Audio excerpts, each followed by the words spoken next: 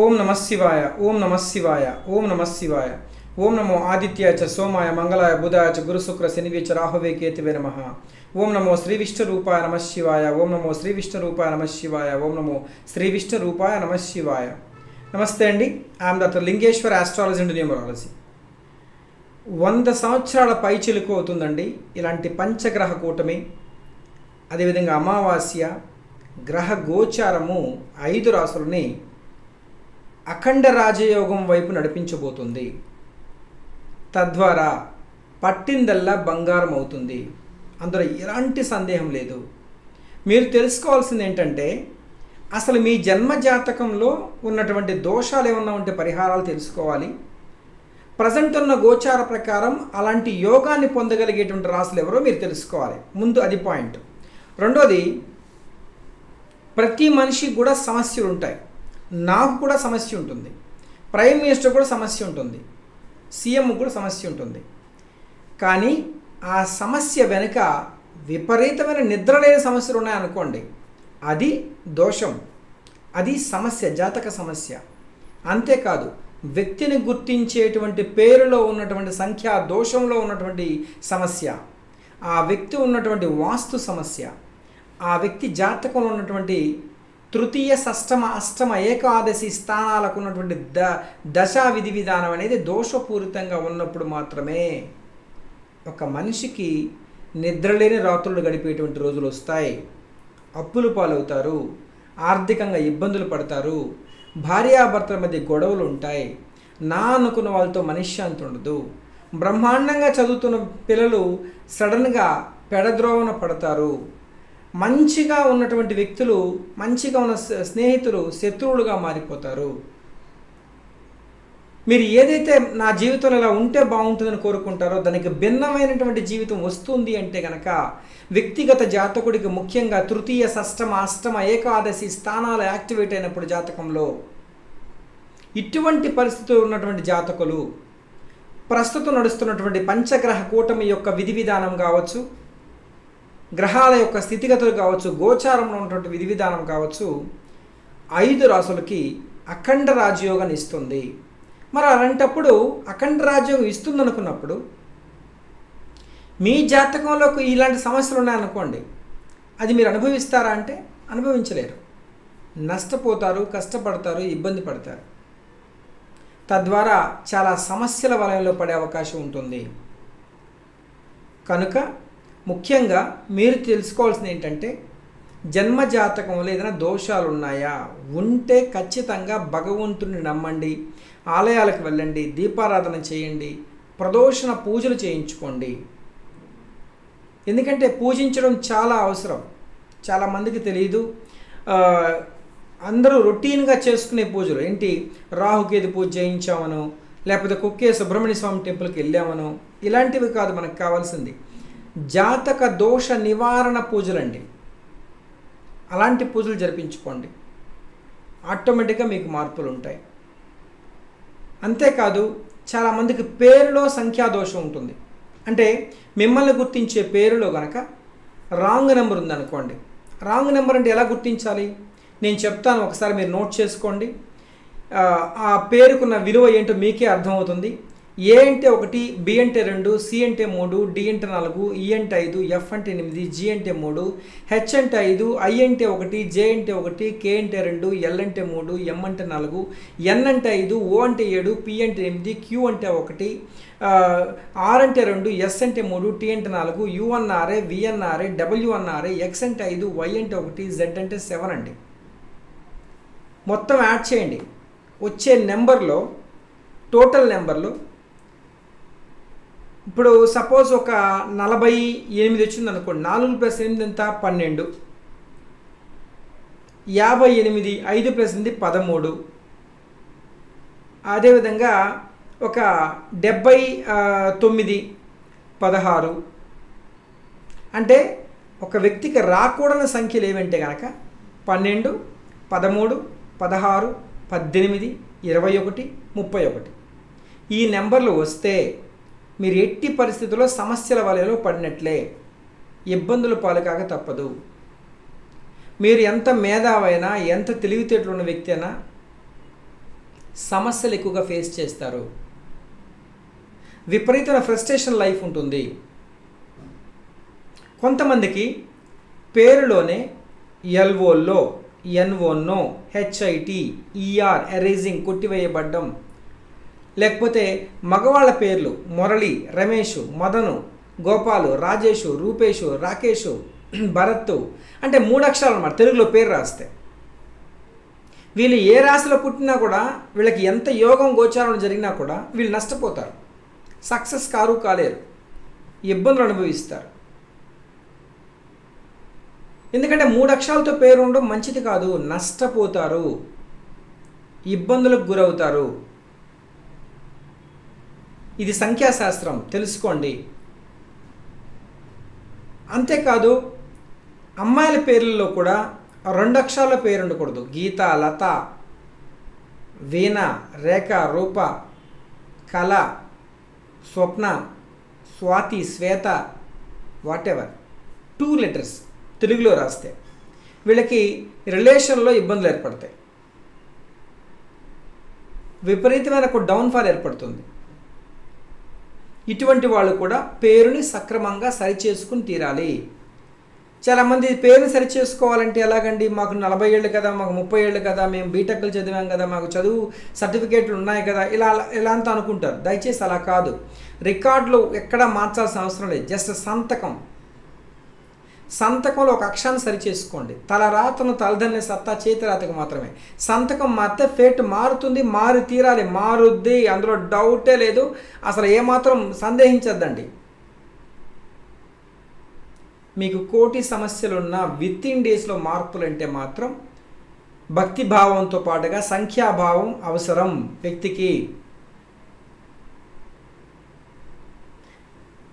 ఈ సంఖ్యాభావాన్ని లెక్కించడం మాత్రమే కాకుండా అసలు ఈ పేరులో అక్షరాల అంటే ఆ నెంబర్ తగ్గినప్పుడు ఏ నెంబర్ పేరులో ఉండాలి ఏ నెంబర్ పేరులో ఉండకూడదు. ఏ అక్షరాన్ని సెట్ చేయాలి అసలు పేరులో ఎన్ని అక్షరాలు ఉంటే యోగం? అర్థమైందండి? అంటే పదకొండు అక్షరాలు కలిగిన వ్యక్తి ఎలా ఉంటాడు పదహారు అక్షరాలు కలిగిన వ్యక్తి ఎలా ఉంటాడు పద్దెనిమిది అక్షరాలు కలిగిన వ్యక్తి ఎలా ఉంటాడు ఆ పదహారు పద్దెనిమిది పదకొండుకు ఉన్నటువంటి నెంబర్ పుట్టిన తేదీకి ఎలా మ్యాచబిలిటీ ఉండాలి? దీన్ని గ్రాఫాలజీ అంటారు. పేరులో ఉన్న అర్థం గురించి చెప్తుంది ప్రొనాలజీ. పేరు కలిగిన వ్యక్తి డేట్ ఆఫ్ బర్త్ను బేస్ చేసుకుని ఎటువంటి వాస్తులో ఉండాలి? రాశిని బట్టి వాస్తు చూసుకోవద్దండి. పుట్టిన తేదీని బట్టి చూసుకోండి. చాలా క్లియర్ కట్గా మీకు అర్థమవుతుంది. ఎస్ ఈ డైరెక్షన్లో మనం ఉండడం వల్ల మనకు సక్సెస్ ఉంటుంది. ఇప్పుడు సపోజ్ మీరు నాలుగు పదమూడు ఇరవై రెండు ముప్పై తరగతి పుట్టారండి. మీరు గ్రౌండ్ ఫ్లోర్లో నివాసం ఉంటే నష్టపోతారు. ఇన్ కేస్ మీరు నాలుగో తారీఖు పుట్టారు మీరు సింహరాశిలో పుట్టారు మీ తండ్రి కూడా సింహరాశిలో పుట్టారు అనుకోండి అవుట్ ఆ ఫ్యామిలీ మొత్తం క- కష్టాల్లో ఉంటుంది. ఇలాంటప్పుడు మీ పేరు సరిచేసుకోవాలి మీ జన్మ జాతకాన్ని తెలుసుకుని తీరాలి. నేను రాంబాబు అని ఆయన మనకు ఇక్కడ గుంటూరు దగ్గర గుంటూరుకు నెల్లూరుకు నెల్లూరు దగ్గర కావలి అనే ఊరు అనమాట సో ఆయన వచ్చి మంచి బిజినెస్ చేస్తాడు. అదేవిధంగా నెల్లూరుకి అదేవిధంగా చెన్నైకి సంబంధించి ఈ వేరుశనక్కాయలు చూసి దాని లోడ్లు లెక్కన బిజినెస్ చేశాడు అనమాట రైతుల దగ్గర డబ్బులు తీసుకోవడము మళ్ళీ డబ్బులు వాళ్ళకి వడ్డీలకి ఇవ్వడము మళ్ళీ వాళ్ళ దగ్గర తీసుకొచ్చి ఇతను అంటే బ్రోకరేజ్ టైప్లో తీసుకోవడము కమిషన్ తీసుకోవడము చాలా బాగా వ్యాపారం నడిచింది. గత పది పన్నెండేళ్ళుగా చేశాడు. కానీ ఒక రెండు మూడేళ్ళుగా మొత్తము అప్పుల్లోకి వెళ్ళిపోయాడు. ఇచ్చిన డబ్బులు తిరిగి రాలేదు. అక్కడ చెన్నైలో ఒక చిన్న ఇన్సిడెంట్ జరిగి పర్సనల్గా కొన్ని ఫెయిల్యూర్స్ ఫేస్ చేశాడు. అందులో ఒక పది పదిహేను లక్షలు పోయాయి. సో అసలు ఒక రెండు మూడేళ్ళలోనే పదిహేనేళ్ళ స- కష్టపడిందంతా కూడా మూడేళ్ళలో మొత్తం మటాష్. అయిపోయింది. ఏం సార్ నేను? నా పేరులో సమస్య అంటే నేను పదిహేను ఏళ్ళు ఎలా వ్యాపారం చేయగలిగాను? ఎలా సొంత ఇల్లు కట్టుకున్నాను? ఎలా కారు కొనుక్కున్నాను? ఎలా మా బా మా అబ్బాయిని బీటెక్ చదివించాను? అన్నాడు. నేను ఒకటే చెప్పాను. వ్యక్తిగత జాతకుడికి యోగం అనేది వరించినప్పుడు చంద్రదశ ఉందనుకోండి నీకు చంద్రుడు యోగి యోగంగా ఉన్నా అంటే పదేళ్ళు నీకు తిరిగి ఉండదు. పదకొండవ సంవత్సరం పెట్టిన తర్వాత వచ్చేటువంటి దశకు సంబంధించిన ఒక విధి విధాన్ని జీవితాన్ని మార్చేస్తుంది ఆటోమేటిక్గా ఏమవుతుంది? నువ్వు ఎంత వ్యాపారం చేస్తున్నవాడైనా డౌన్ఫాల్ అయిపోతావు. నష్టపోతావు. ఎంత తెలివైనవాడైనా కూడా కావచ్చు. ఏదో ఒక ఇబ్బందికి గురవుతావు. తర్వాత అనుకుంటావు అరే ఇలా చేస్తుంటే బాగుండి ఒరే అలా చేస్తుంటే బాగుండి అనిపిస్తుంది. కానీ ఆ చేసేస్తాం. ఎందుకంటే అలా చేయనిస్తాడు గ్రహాధిపతి.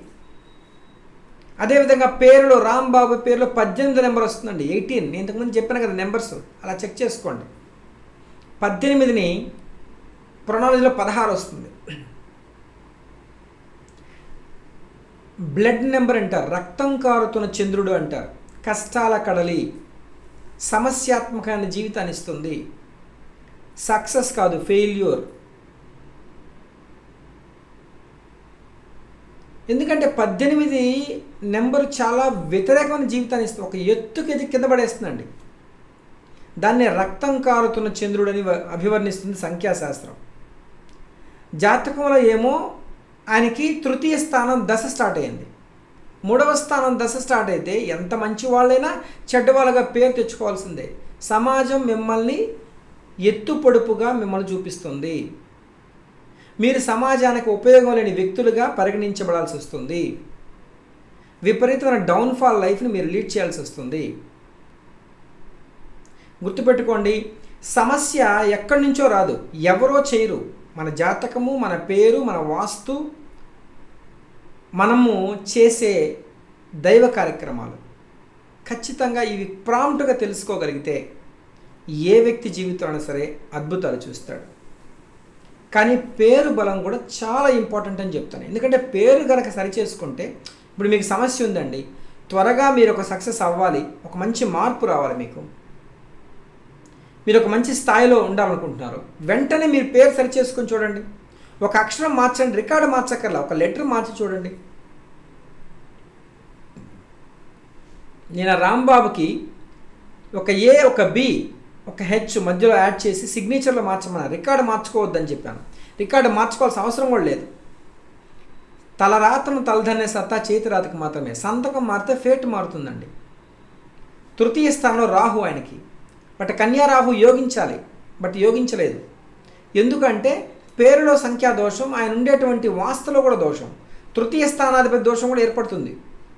ఇలా మూడు విధాలుగా నష్టపోయాడు. కాబట్టి అనుకోకుండా కష్టాలు అనుకోకుండా నష్టాలు కేసులు అప్పు ఇస్తే తిరిగి రాకుండా పోవడం అదే రైతులు ఇతన్ని దొంగ అని చెప్పడం. సో ఒక నెగిటివ్ లైఫ్లోకి వెళ్ళిపోయాడు ఆయన. విత్ ఇన్ త్రీ ఇయర్స్లో పదిహేను సంపాదించి మొత్తం పోయింది. ఇలాంటి వాళ్ళందరికీ కూడా సంఖ్యాశాస్త్రం జ్యోతిష్యం పరిహారాలు అద్భుతంగా పనిచేస్తాయి. నేను అలా అతనికి ప్రిడిక్షన్స్ ఇచ్చిన తర్వాత ఈరోజు ఆయన రియల్ ఎస్టేట్ వ్యాపారం చేస్తూ ఆ వ్యాపారం రైతుల సోదంతా వదిలేశాడు. ఇతను ఓన్గా రియల్ ఎస్టేట్ వ్యాపారం చేస్తూ కన్స్ట్రక్షన్ డిపార్ట్మెంట్లో కన్స్ట్రక్షన్ ఆ పాయింట్ ఆఫ్ వ్యూలో మనకు ఇల్లు కట్టే వాళ్ళకి ఇసుక సప్లై చేయడము రెండు ట్రాక్టర్లు మెయింటైన్ చేస్తూ ఈరోజు చాలా చాలా బ్రహ్మాండంగా ఉన్నాడు. ఒక వ్యక్తికి సక్సెస్ ఎటువైపు వస్తుంది ఏ వ్యాపారం చేస్తే వస్తుంది అసలు వ్యాపారం చేయాలా ఉద్యోగం చేయాలా ఎలా ముందుకెళ్తే బాగుంటుంది అనేది జాతక చక్రంలో భాగ్యస్థానం తెలియజేస్తుంది. ఆ భాగ్యస్థానాన్ని బట్టి నేను చెప్పాను నువ్వు ఇలాంటివి చేసుకుంటే సక్సెస్ ఖచ్చితంగా ఉంటుందని. అలా చేస్తూ వచ్చాడు. ఈరోజు చాలా బాగున్నాడు. అంటే పేరు చాలా ఇంపార్టెంటు. జాతకంలో ఉన్న గ్రహాలకు సంబంధించిన పరిహారాలు చాలా ఇంపార్టెంటు. భగవదారాధన చాలా అవసరం. కొంతమందికి విపరీతమైన దోషాలు ఉంటాయి కేంద్రాధిపతి దోషం కావచ్చు షష్టమ దోషం కావచ్చు తృతీయ దోషం కావచ్చు. లగ్న దోషం కావచ్చు పూర్వపుణ్య దోషం కావచ్చు మాంది దోషం కావచ్చు ఇలాంటి వాటికి ఖచ్చితంగా పూజలు చేసుకోవాలి. కర్మం కాంచానం చేస్తేనే మీకు లైఫ్ మార్పులు సంభవిస్తాయి. లేకపోతే విపరీతమైన సమస్యల వలన పడే అవకాశం ఉంటుంది.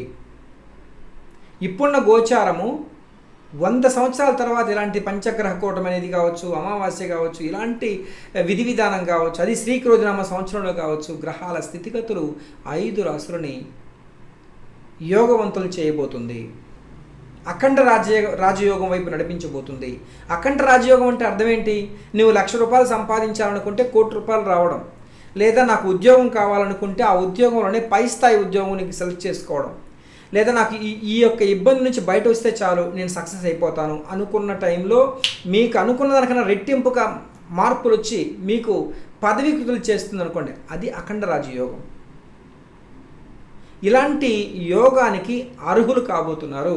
ముఖ్యంగా మేషరాశి వృషభ రాశి సింహరాశి తులారాశి కుంభరాశి. ఈ రాశుల్లో పుట్టిన వాళ్ళకి ఇన్ కేస్ నేను ఇంతకుముందు చెప్పినట్టు లగ్నం నుంచి మూడులోనూ ఆరులోనూ గ్రహం ఉండి ప్రజెంట్ నడుస్తున్నటువంటి దశ వింశోత్తరి దశ కనుక అయితే ఖచ్చితంగా మీరు పరిహారాలు తెలుసుకోవాలి. పరిహార పూజలు తెలుసుకోవాలి. ముఖ్యంగా మీ పేరు సరి చేసుకోవాలి విత్ ఇన్ ఫార్టీ ఫైవ్ డేస్లో మీకు మార్పులు ఉంటాయి. ఎందుకంటే గోచారం కలిసి వస్తుంది. గ్రహచారం అంటే మీ జాతకం. దానికి సంబంధించిన పరిహారాలు తెలుసుకుని ముందుకు వెళ్ళండి. ఆటోమేటిక్గా మార్పులు ఉంటాయి.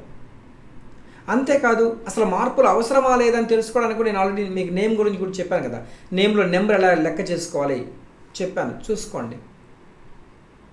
ఎందుకంటే మనిషి యొక్క సక్సెస్ అనేది తప్పనిసరిగా పేరు ప్రభావం మీద జాతకం మీద ఎక్కువ చూపిస్తుంది. ఇప్పుడు అతను అలా అప్పులు పాలయ్యాడు నష్టపోయాడు. మరికొంతమంది ఏమవుతారు? బాగా నమ్ముతారు. మనవాడే అనుకుంటారు డబ్బిస్తారు తిరిగి రాదు. కొంతమంది ఎంతసేపు కాయ కష్టాలు చేస్తూనే ఉంటారు. పాపం ఎంత కష్టం చేసినా ఫలితం శూన్యం. పరులు పాలైపోయేది కొంతమంది ఫేస్ చేస్తారు. ఇలా రిలేషన్లో కానీ ప్రతి సమస్య వెనక జాతకము పేరు బలం దాగి ఉంటుంది. వాటికి గోచారం గనక బలం ఏర్పడితే తిరుగులేని మార్పులు మీరు చూస్తారు. గోచార పరంగా ఇప్పుడు బాగుంది కాబట్టి మీరు జాగ్రత్త పడండి. మీకంటూ ఒక మంచి స్థాయిని గుర్తింపుని మీరు పొందండి. తద్వారా సక్సెస్ఫుల్ పర్సన్గా మీరు ఉండాలని తెలియజేస్తున్నా. ఇన్ కేస్ మీ సమస్యలు ఏదైనా ఉంటే కూడా నాకు స్క్రోల్ నెంబర్కి కాంటాక్ట్ చేస్తే నేను మీతో మాట్లాడతాను. తద్వారా మీ లైఫ్లో మీకంటూ ఒక గుర్తింపు అని చెప్పవచ్చు. ఒక స్థాయిని ఈ శాస్త్రం మీకు అందిస్తుందని తెలియజేస్తున్నా. అంతేకాదు కొంతమందికి అమ్మవారి కృపా కటాక్షలు కావాలి లేదా లక్ష్మీదేవి యొక్క కృపా కటాక్షలు కావాలి అనుకుంటే నేను పదిహేనో తారీఖు లక్ష్మీ కుబేర హోమాన్ని నడిపిస్తున్నాను. ఈ హోమంలో ఎనిమిది మంది సద్బ్రాహ్మణుల చేత చేపిస్తాను. మీ పేరు గోత్రము మీ ఇంటిల్లిపాది పేర్లు ఇవ్వగలిగితే మీకు లక్ష్మీ కుబేర యంత్రాన్ని కూడా నేను పంపించడం జరుగుతుంది. ఆ రోజు మీరు గనక గోత్రనామాలతో గనక అమ్మవారిని పూజించగలిగితే అష్ట ఐశ్వర్యాలు సిద్ధించడానికి ఒక మార్గం ఏర్పడుతుంది. అంటే ఇది చేసుకుంటూ మీరు కూడా మీ జాతకాన్ని కూడా తెలుసుకోవడం ఇంపార్టెంట్ అనే విషయం మర్చిపోకండి. ఎందుకంటే లక్ష్మీదేవి యొక్క పూజ కావచ్చు లక్ష్మీ కుబేర యో హోమం అనేది చాలా విశిష్టమైనటువంటిది. ఒక్కొక్కరికి ఒక్కొక్క రకమైన దోషం ఉంటుంది. వాటన్నిటికీ పరిహార మార్గంగానే నేను చేస్తున్నా. మీరు కనుక చేసుకోవాలనుకుంటే మాత్రం స్క్రోత్ నెంబర్కి కాంటాక్ట్ చేయండి. మీకు మా వాళ్ళు మీకు అన్ని విషయాలు చెప్తారు. తెలుసుకుని దాని ప్రకారం ముందుకెళ్ళండి. శాస్త్రాన్ని నమ్మండి. తెలివితేటలు మీకు ఉండొచ్చు. అదృష్టం ఉండాలి. ఆ అదృష్టం మీ జాతకము మీ పేరు ద్వారానే మీకు పరిష్కార మార్గం దొరుకుతుందని తెలియజేస్తున్నా. ఈ జూన్ మాసం ముఖ్యంగా పది తర్వాత నుండి కూడా అద్భుతమైనటువంటి మార్పులతో ఒక సక్సెస్ఫుల్ పర్సన్స్గా మీరు ఎదుగుతారు. అందులో ఎలాంటి సందేహం లేదు. దానికనే జ్యోతిష్యంలో అఖండ రాజయోగం అని చెప్పింది. ఎందుకంటే అలాంటి చిన్న టైం తక్కువ టైంలోనే ఎక్కువ గుర్తింపు ఎక్కువ సంపాదన పేరు ప్రతిష్టలు ఎందుకంటే గ్రహాల స్థితిగత అంత బాగున్నాయి.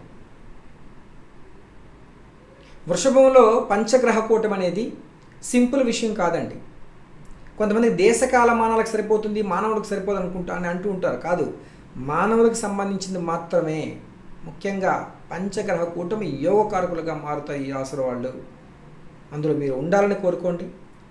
ఇన్ కేస్ ఏదైనా విపరీతమైన సమస్యలు ఉంటే మాత్రం స్క్రోత్ నెంబర్కి కాంటాక్ట్ చేయండి. నేను మీతో మాట్లాడతాను. So thank you. Thank you very much అండి.